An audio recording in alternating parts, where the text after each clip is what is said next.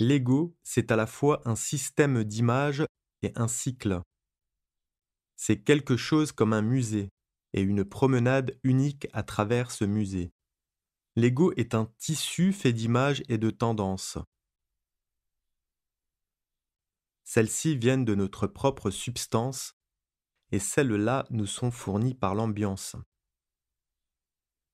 Nous nous mettons nous-mêmes dans les choses et nous plaçons les choses en nous-mêmes, alors que notre vrai être en est indépendant.